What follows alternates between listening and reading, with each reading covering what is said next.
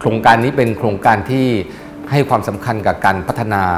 สมองของเด็กปฐมวัยฮะซึ่งเราพูดถึงความสำคัญตั้งแต่ตอนอยู่ในครรภ์มารดา จนกระทั่งหลังคลอดออกมา เรียกว่าเด็กปฐมวัยเนี่ยเป็นวัยที่สมองมีการสร้างอย่างรวดเร็ว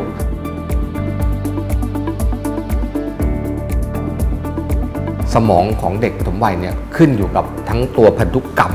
แต่สำคัญกว่านั้นคือว่าสิ่งแวดล้อมนะฮะจะเป็นสิ่งแวดล้อมในครรภ์มารดานะก็คือตัวมารดาเองนะแล้วสิ่งแวดล้อมตอนหลังจากคลอดออกมาแล้ว สิ่งแวดล้อมเนี่ยก็แบ่งเป็น2อย่างนะฮะเป็นสิ่งแวดล้อมทางกายภาพนะจะเป็นอาหารการกินที่อยู่อาศัยอากาศอะไรที่อยู่รอบตัวเด็กนะกับอีกอันหนึ่งที่มองไม่เห็นนะเรียกว่าสิ่งแวดล้อมทางอารมณ์ ความรู้สึก ความรัก ความผูกพัน ทั้งหมด 3 ส่วนเนี่ยนะฮะทั้งพันธุกรรม สิ่งแวดล้อมเชิงกายภาพ และสิ่งแวดล้อมเชิงอารมณ์ 3 อย่างเนี่ยหล่อหลอมตัวเด็กนะในวัยปฐมวัย ซึ่งเขาจะต้องใช้สมองใช้พัฒนาการในจุดเริ่มต้นของชีวิตเขาเนี่ยไปอีกตลอดชีวิต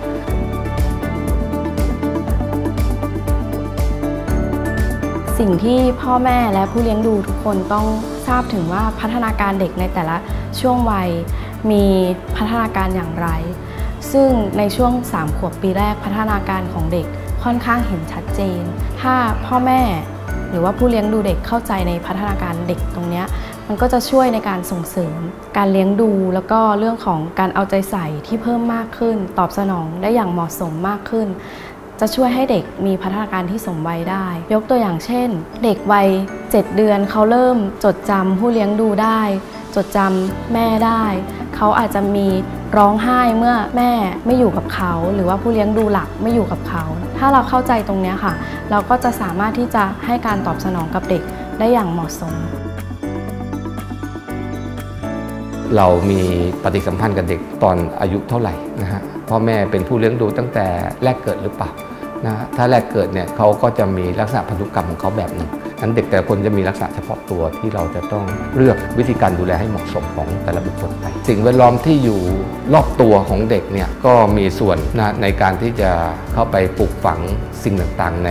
ตัวเด็ก ความสัมพันธ์ที่ดี การตอบสนองต่อเด็กเชิงบวกทางอารมณ์ แล้วก็การดูแลทางกายภาพที่เหมาะสมให้กับตัวเด็กในวัยเด็ก ผมคิดว่าอันนี้เป็นหัวใจสำคัญ ขาดสิ่งใดสิ่งหนึ่งเนี่ยไม่ได้ ใครให้อาหารเด็กอย่างดีสามมือแต่ไม่ตอบสนองด้วยอารมณ์เชิงบวก เป็นการดุดาสร้างความเครียดในการดูแลจะด้วยความหวังดี ต้องการระเบียบวินัยต้องการอะไรก็แล้วแต่ แต่ตามมาด้วยการทำร้ายทางอารมณ์ สิ่งเหล่านี้นำไปสู่การทำร้ายสมอง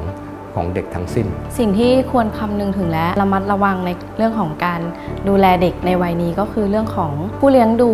ต้องให้การดูแลอย่างใกล้ชิดนะคะ อยู่ในสายตาตลอดเวลาเนาะเด็กวัยนี้คือเขาต้องการคนดูแลแล้วก็ให้การสนับสนุนเขา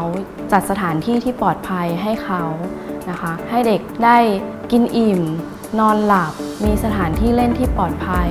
แล้วก็มีผู้ใหญ่ที่คอยดูแลตอบสนองเขา เพราะว่าเป็นวัยที่จดจำซึมซับสิ่งต่างๆ ที่ผู้ใหญ่ทำ แล้วก็จะเป็นฐานให้กับการพัฒนาเขาในระดับต่อไป ในอายุที่เพิ่มมากขึ้น ความสุข